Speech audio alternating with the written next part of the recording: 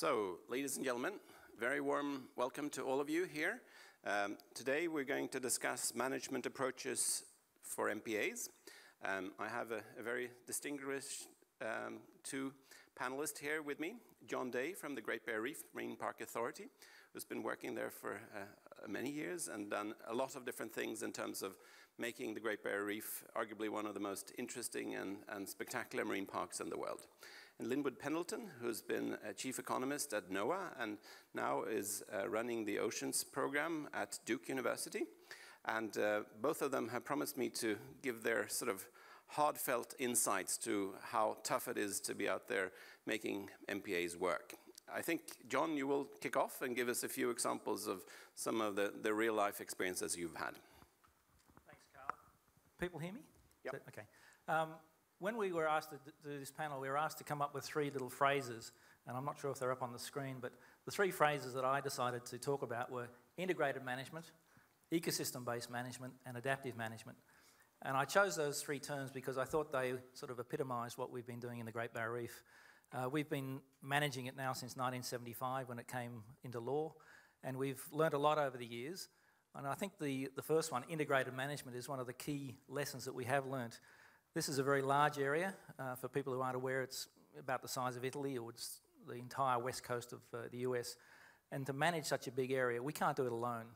We're a federal agency, but we also work closely with the state of Queensland. And so when I use the word integrated management, I'm talking about integration across governments, and it's not just state federal.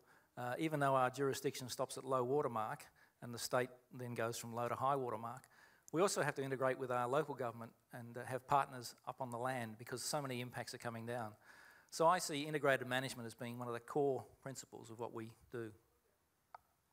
Linwood, uh, would you give us uh, some of the insights that you have? Well, thank you. And um, I think this is the, the perfect setup because I'm an economist, and if you don't know, economists are people who look at the real world and wonder whether it works in theory. So you're the real world, and I can be theory.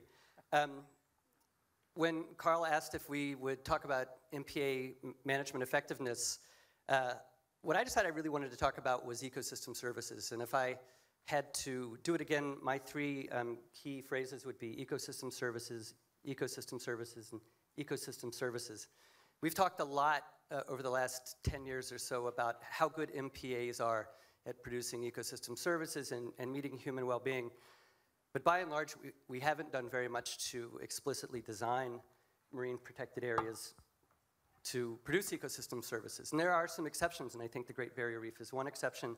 I think we've done a pretty good job in uh, marine protected areas that serve the dive community and dive tourism. Uh, there is one uh, favorite MPA of mine in Puerto Rico, the Tres Palmas Marine Reserve, that was designed specifically uh, to protect the surfing resource. But if you look at all those other ecosystem services we talk about, we haven't really gone out and designed them to maximize spillover or maximize carbon protection or maximize shoreline protection or even really thought about how we would do that. Um, so this is one of these places where I'd like to talk more about management effectiveness and how we can be more effective. Uh, we've talked about um, the importance of having integrated and multi-sectoral MPAs, but I think there's also room to have MPAs that really are focused on specific marine ecosystem services. I like to think of things like carbon reserves and uh, MPAs that are designated specifically to protect shorelines and, and the like, and I think that's one way of scaling MPs, MPAs up that we haven't considered fully. Um, so uh, that's something I hope people think about and I hope we think about this afternoon.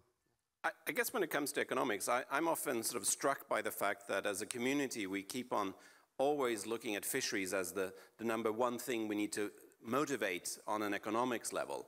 And of course, looking at the Great Barrier Reef, you know, we know what the economics are relatively well right now, yet this argument doesn't seem to cut it. Can, can, you've been in through this whole rezoning and all these other things. Jon, can you give, enlighten us a little bit about just the numbers in broad terms and how you see that we could change this debate? I'm not sure if I'd agree when you said uh, we know all about the numbers. We have an idea about some of the numbers, and I think the ones that Carl's alluding to, uh, we've had some work done by a, uh, a, group that works also for government, so we, the figures are well accepted. And Access Economics have, have done some calculations of what uh, some of the key industries, and tourism uh, is estimated at being worth over $5 billion Australian per annum to the uh, economy. $5 billion Australian. Um, that's almost 5 billion US, but not quite. Um, and the sort of equivalent, uh, using the same type of uh, assessment, they've looked at commercial recreational fisheries and research. And sure, they're worth hundreds of millions, but it's nothing in the order of magnitude of what tourism is.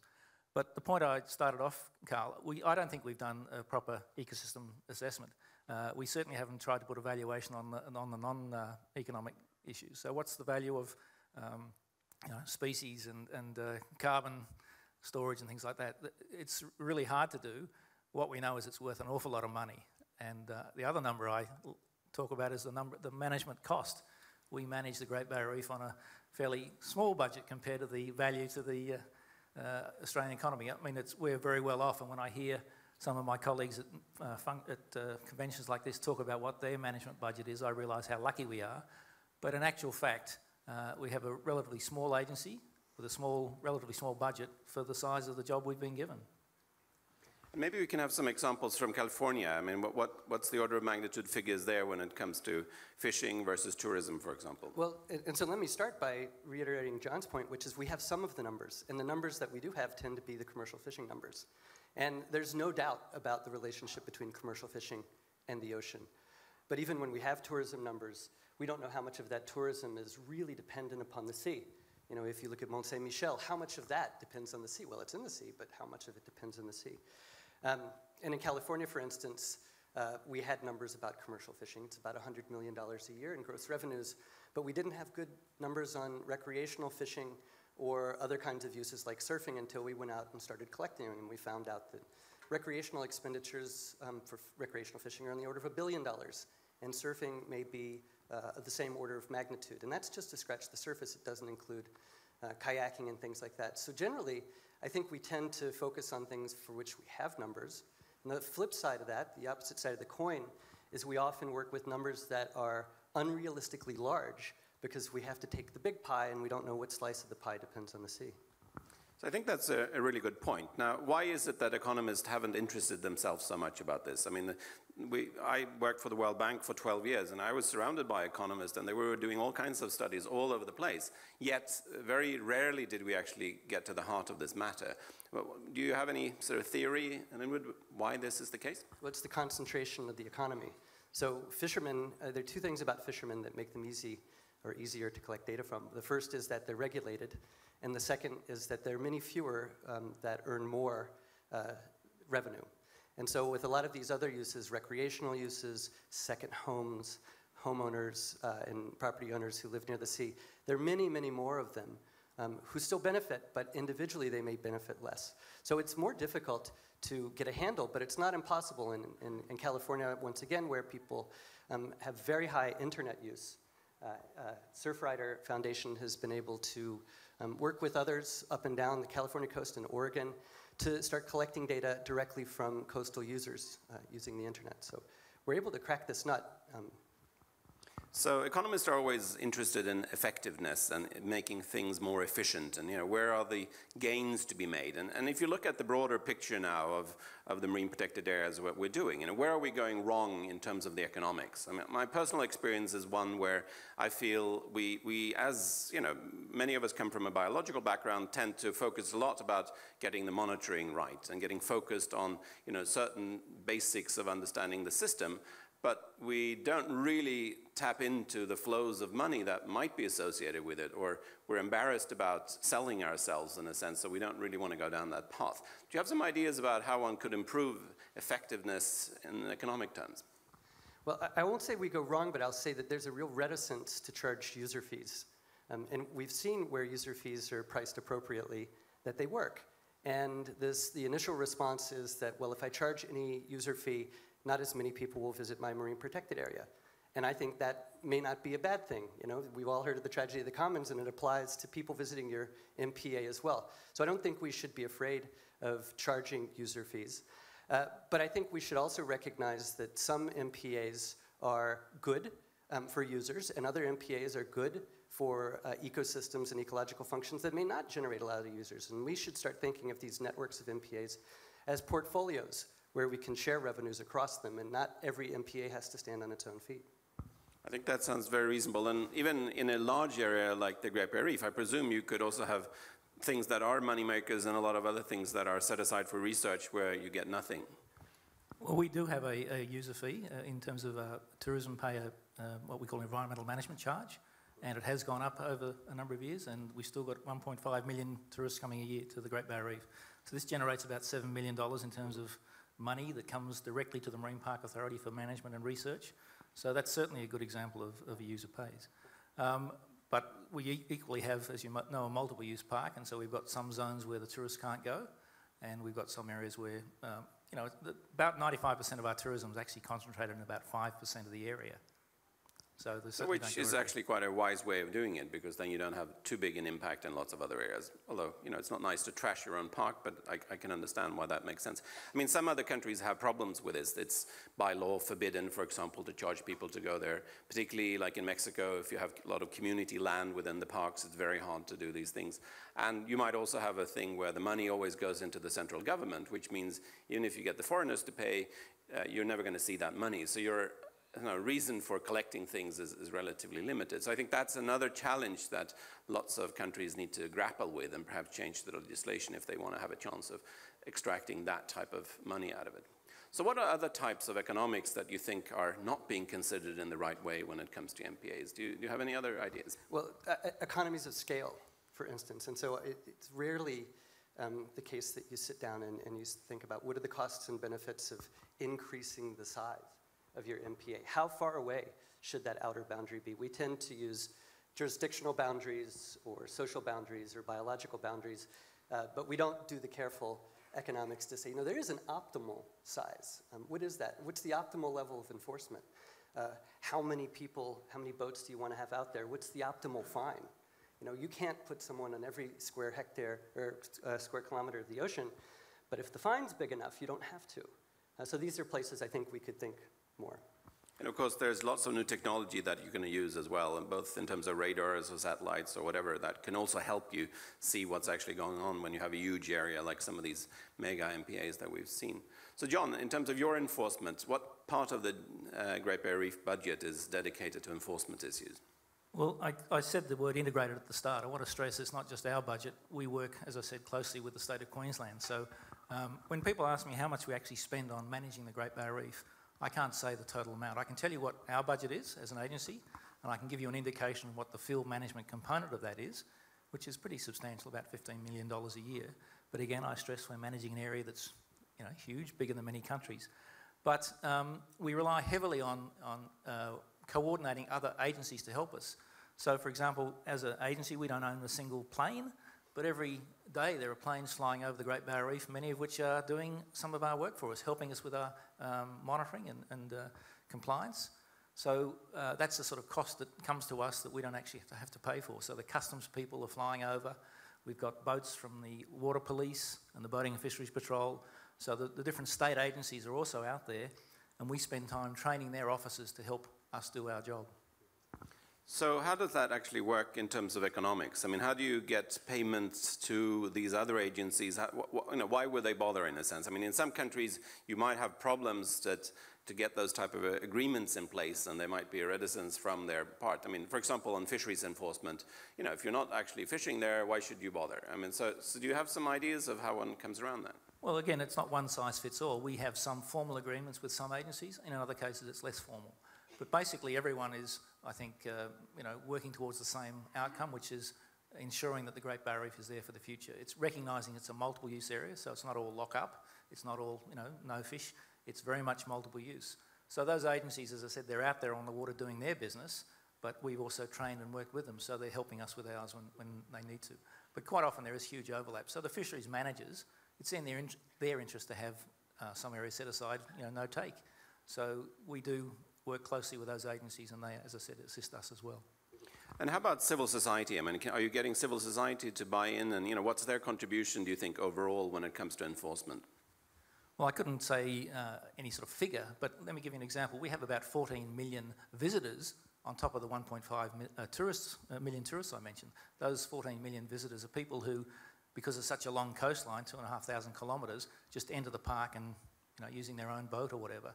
And they're providing a huge role now in helping us uh, monitor and in some cases um, enforce. So we've now got a very effective system called Eye on the Reef, where we're encouraging the public to report uh, issues to us. If they see, you know, a, a, biological phenomenon they want to tell us about, click it with their app, download it, and we can get the information.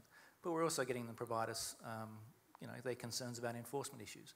And quite often, fishermen who are doing the right thing will let us know about fishermen who aren't, and that helps us a lot. So yeah, we rely heavily. As Len would say, we can't be everywhere, sorry. Uh, 345,000 square kilometres, but there are virtually people out there every day, whether it's a tourist operator or fisherman, and if they can be a bit of eyes and ears for us, that certainly helps us with our job. Maybe part of it is monetizing that. Do you well, so let me make another comment, uh, which is I, I, think it's important to recognize that not all of civil society is, is equally expert at identifying an infraction. And, you know, so if you open it up to everyone, uh, you end up chasing a lot of um, false leads. And so uh, a great example in California is uh, rich people living in Malibu calling uh, you know, fish and game because they think the squid fishermen are spying on them. in fact, they're out there using lights to catch squid. But on the other hand, I think commercial fishermen who do follow the law are excellent uh, monitors, and I think recreational anglers are also very good monitors as well. As well. So, you know, it's trying to figure out how do you harness civil society um, without creating a lot of animosity and a lot of conflict that's not necessary.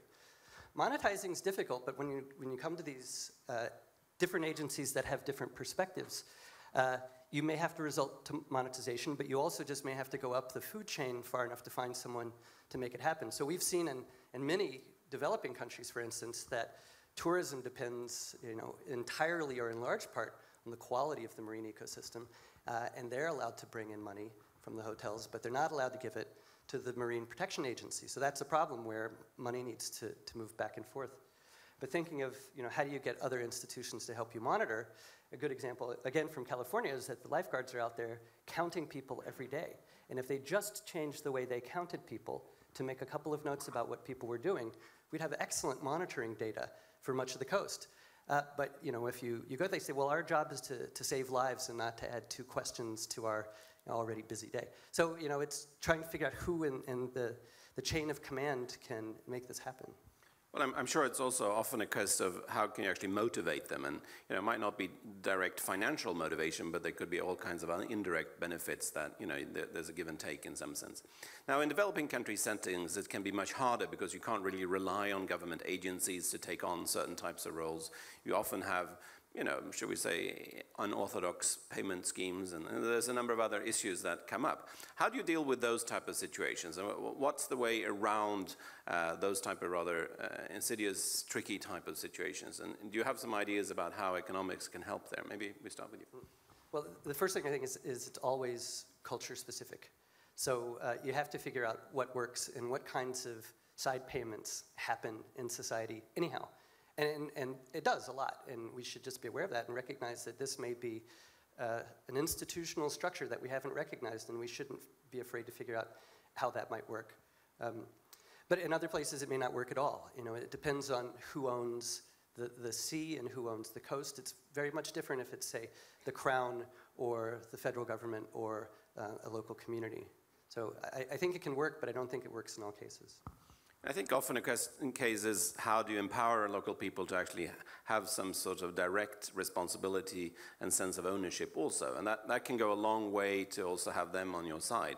Not always, but there are, are cases where that works. I mean, and I think often that's also about finding reasonable flows of money in the right direction to get around that problem. Yeah. And I think you have to balance that the, these resources in many cases are public trust resources and they belong to people outside of the local area. And so trying to balance that local control, local involvement with the idea that this is a public trust that may, by law, uh, belong to people outside of the local area. Or this might be a, a source of potential finance. How do you tap that public value to support local people doing the right thing? I mean, the other thing we've found recently is that there are cases where private industry comes in and does something. Either it could be gas extraction, for example, and they build a plant on the coastline, or it could be tourism development, like in the Maldives, where pretty much all islands now have a de facto marine protection zone around them because there is no fishing there really. Uh, and then you have to ask yourself, you know, how can we empower the private operator and actually educate them to the level where they're able to be decent managers because they can also be agents for good. So maybe from the Great Barrier Reef, you know, you have a lot of experiences with you know, a number of these islands, Lady Elliot and so on, which are operating a bit along those lines. Can you tell us a bit about that? Well, we have uh, virtually every tourist operator, whether they're on an island or just uh, a roving operator in the marine park, is required to have a permit. And so one of the conditions of the permit is we require them to uh, make people aware of the rules and regulations and to help educate them. So we spent a lot of effort helping them understand the issues and getting them uh, more aware so then they can pass it on. So they're, again, playing part of our role in educating the community. So the tourist operator at Lady Elliot, Lady Elliot that you mentioned is a really good example. I mean, that guy is, or his company has decided to make their whole resort as green as they can, you know, solar panels and recycled uh, sewage systems and things like that. So they're doing a huge amount to minimise their footprint and to also educate all their guests. So he's a really good example of, of the sort of thing we want to see. But virtually all our tourist operators, as I said, because they're required to have a permit by law, we can help them educate. And so we also have a, a program where the good ones can get an, uh, accredited and, and can get a 15-year permit. A new one might have to get a one-year permit until he can prove that he's got the, the skills. And I would imagine this is a place where certification can be helpful as well as a one tool to sort of recognize good performance in a way. But maybe you have other thoughts about it. Well, so I, I was going to say certification is one thing. We, we, tend to say, no, everyone's got to follow the same rules or you can't participate. But if you go be above and beyond, should, there should be some way of, of saying that. And we know that the market um, will support a premium because there's the reason that people travel farther uh, to go diving because they can get better coral, um, more abundance of fish and fish diversity, things like that. But we don't tend to discriminate within, say, um, a marine network or marine park and uh, charge different fees for getting into different areas. And I think we could because not all marine park is the same in terms of its tourist potential, and uh, not all of the marine park is equally resilient to the impacts of tourists. So if there are places where you, you can't have as many tourists, um, but those tourists are willing to pay more, why not have that premium go to the reserve? I, I had the opportunity to visit a park in um, East Africa just a few weeks ago in, in, in Mozambique called Vamizi Island. And it's quite an extraordinary example where the local community has set aside a no-take fisheries reserve, which is around the tourism area.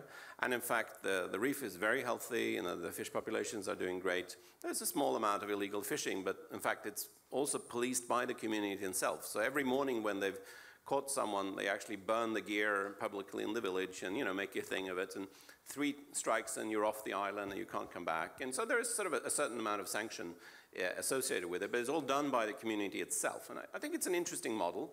Uh, I think the economics of it works in as much as this is what actually people come all the way out there to, to look at. So, so I think there is definitely a model to be had here in a number of other places. So you don't necessarily need to have a rich country setting to, to set that up. I think it works in developing countries. Perhaps the longest serving one is Chumbe Island up the coast in Tanzania, where they've actually been running a, a, very small reserve, but, but as an eco-lodge for quite some time. And, you know, the fish isn't great, but at least the corals are, are reasonably healthy. So I wanted to look at the, the third uh, pillar, uh, which beyond government and private sector is the civil society, and particularly our community of NGOs. Clearly, there are many cases where NGOs are also managing uh, marine protected areas or aspects or parts of marine protected areas. Do you have some good examples of that, and, and how does that work? Well, perhaps if I can give another example of just NGOs. I mean, you talked about civil society. We recognise again, because we've got a large area, that we've got to get the community to help us manage. So we're investing a huge amount into uh, a thing called Reef Guardian Schools, which started off as a fairly small program where we got one school teacher on our staff to help develop some curriculum material, which we then provided to school teachers. That whole program has now snowballed to where we've got over 120,000 school children along the Great Barrier Reef catchment. This is a 10% of the entire population in the catchment are in the Reef Guardian Schools program. So we've got kids from uh, preschool right through to secondary school, all developed, uh, all coming through the Reef Guardian Schools program, all passionate about the reef. They go home and they talk to their brothers and sisters and they educate their mum and their dad so they're the, we're putting a huge amount into, uh, well, not a huge amount, we're putting a bit and we're getting a huge benefit from the community learning about it. It was so successful, we've actually taken it into other areas. So we've now got Reef Guardian councils We were working with local government to again raise their awareness and raise their uh, way of dealing with the, the issues facing them and, and, affecting the Great Barrier Reef. And we've now taken into a Reef Guardian Fishers and Reef Guardian Farmers program. So that Reef Guardians thing, I think, is a really good way of getting other people empowered, understanding and helping us do our management. NGOs do play a major role, as you said. Uh, we don't have to spend a lot of time educating them. They're already pretty passionate and, and uh, educated. But they also have to recognise that you know, they're one of many stakeholders we have to deal with. And I think that's something else that through our various advisory committees, we have NGOs sitting on some of our advisory committees, but they're there sitting with the fishermen, with the traditional owners, with the other members of uh, various you know, researchers or, or industry. And so everyone's hearing others' perspective, and I think that's a healthy way of recognising that some people look at it through their own lens rather than through the broader, which is you know, what the community is about. And, and Linwood, could you give us some sort of order of magnitude figures when it comes to the contributions given by uh, non-governmental organizations, environment groups, uh, in their role within marine protected areas? Have you looked at that somewhere? No, no, I haven't, and I think it would be very difficult to do because there's some explicit contributions, but marine protected areas obviously don't exist in isolation from all the other marine management that happens. And so I think it's very difficult to disentangle what a, an NGO does or what NGOs do. And then also thinking about the NGOs moving in and out of the life cycle of an MPA. They may come in as the catalyst, they may fill a government role until government capacity is there. Uh, they may work in monitoring even once the government's involved, education, all of these things. So I think it would be a monumental task to try to do.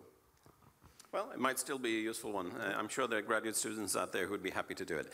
Um, so I wanted to hear a little bit more, um, talking to the areas beyond the park. I mean, we tend to be somewhat introspective and focused on the area, but of course there's lots of things going on, and sometimes those impacts can be much greater, and you know, what happens in society obviously influences a lot. So can you give a little feeling for what you mean with um, integrated management in this respect?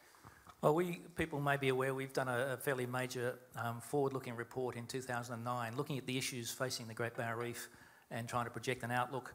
And having gone through that process, which was pretty rigorous in terms of its scientific underpinning, but it basically came out and said the factors affecting the Great Barrier Reef are primarily climate change and, and the associated issues, water quality coming off the land, coastal development, and some unsustainable aspects of fishing, but mainly climate change and water quality right up there. So these are issues that are basically outside our direct area of jurisdiction. Our jurisdiction stops at low water. As I said, we work closely with the state of Queensland who look after low to high water and areas around islands, for example. But we have to work closely with others, you know, partners and, and with local government, as I said, up into the catchments and with industry groups, for example, the sugarcane industry, to get them to recognise the impacts they're having and the downstream impacts on the Great Barrier Reef. Climate change is a, a difficult one, that's a global issue. But our approach is we can help build resilience by taking some of the other pressures off the Great Barrier Reef and allow it, those areas to, to uh, cope with climate change. So that's why we've got the new network, or the relatively new network of no-take areas. That's why we're putting so much effort into trying to address water quality coming off the land. So in reality, most of the issues facing the Great Barrier Reef are outside our direct jurisdiction. And in fact, this whole uh, question of resilience, I think, comes also to the heart of how you as a manager need to look for coping with all kinds of unforeseen consequences. I mean, the, the striking thing I have in my relatively short lifespan is to how many times life throws us curveballs that we weren't at all prepared for. As a community, we've sort of constantly been chasing behind rather than being ahead of some of the issues. It's uh, you know, heartening to know that you're at least looking into the future uh, I guess the, the bottom line is, you know, even with the best crystal ball, we, we might not always be prepared for what comes. So that, in my mind, really um, argues to have good adaptive management, dynamic sets of dealing with issues, and really be good at coping with all kinds of changes. The more rigid you are, the more structured you are from, shall we say, a, a um, sort of stable or, or, static way of looking at it, the more likely you are to be, be in a worse position to deal with those type of changes. Let me go back to this inside and outside of MPAs. And, and I think there are two places where we really need to do a better job of focusing on what's going to happen outside of the MPAs. The first is when we take management actions within the MPA, we need to spend more time thinking about what's going to happen outside of the MPA. And uh, a lot of what we say is going to happen on, on both sides tends to be a lot of hand waving, so we'll maybe overpromise spillover or underpromise uh, the effects of displacement. And we just need to be more serious and scientific about that. Um, and to take that a step further, I think we need to design so we maximize the positive things that can happen. So if we say there's going to be spillover and fish depend on hard substrate, don't put all the hard substrate in the MPA or in the reserve. Make sure some of it's available outside of it. Um, but the second side of that is if we're going to do a good job of managing these MPAs for people, then we are going to have to collect data inside and outside MPAs because there are lots of things that are happening to people that are independent of your MPA. And recreational fishing may be going down everywhere because of social and demographic changes. If you just measure it in your MPA and you can't control anywhere else, uh, you don't know what's going on. Um, and, and that happens a lot, and we tend not to spend enough time outside of MPAs. Thanks a lot. Any parting words, Jon? Well, just to finish off on Linwood's comment about, uh, you know, don't promise about spillover. When we set up our network, we had no idea of the, the extent that we can now prove scientifically. But we said to, to fishermen when we thought there'd be benefits, we stressed them what we did wasn't about fisheries, but that we thought there would be benefits to fisheries. And for people who aren't aware, we can now prove scientifically that the um, larvae and, and, eggs from the green zones are ending up in the blue zones, and, and, many of the fish also are swimming out. So we can prove that through genetic tagging and things like that that we couldn't do when we did the zoning. So that's a really nice story. The other point I just finish off is you mentioned adaptive management. Um, again, we used the best available science when we did our zoning, but even that was 10 years ago. We, today we know a lot more, and so uh, you know when we put our network over the top of the new information, because we used a precautionary and a systematic approach, we've actually picked up a fair bit of you know, habitats we didn't have mapped and some new species. So a precautionary approach, not waiting for perfect science, getting on, and then, as you said, adaptively managing as the new information comes on board. So, thank you very much to our panel. A round of applause.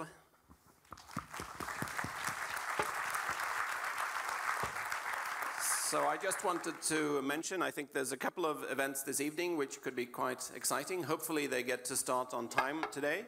Uh, the first one is Blue Marine Foundation has made a movie of the um, Chagos, currently the largest no-take zone. It's the blue heart of the Indian Ocean. I think that will be really exciting. I had an opportunity to go out there and it's one of the most splendid places on this earth, so I think it'll be really good to see.